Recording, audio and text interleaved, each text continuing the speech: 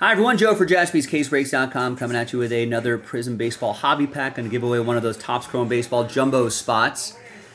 Big thanks to just one person, Jeremy Port. Thanks, man. Thanks for grabbing all the spots. Appreciate it. And I asked Jeremy in the chat. He says, yeah, go ahead and rip it. So there it is, 2021 Prizm Baseball. In addition to your division spot, let's see what you get. I don't think I see an auto, but maybe some color down there. There's Clarke Schmidt.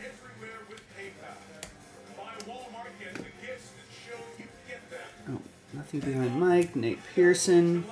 Dylan Carlson's decent here. And we got Larry Walker. 83 out of 100.